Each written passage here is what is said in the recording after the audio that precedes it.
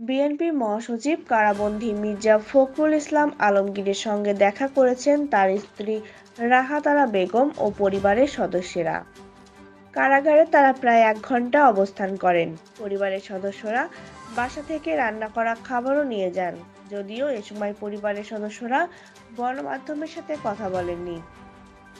এ বিষয়ে বিএনপির মিডিয়া সেলের এক সদস্য বলেন, কারাগারে বিএনপির মহাসচিবের সঙ্গে তার স্ত্রী ও মেয়ে দেখা করেছেন। বিএনপির মহাসচিব মোটামুটি ভালো আছেন বলে জানিয়েছেন।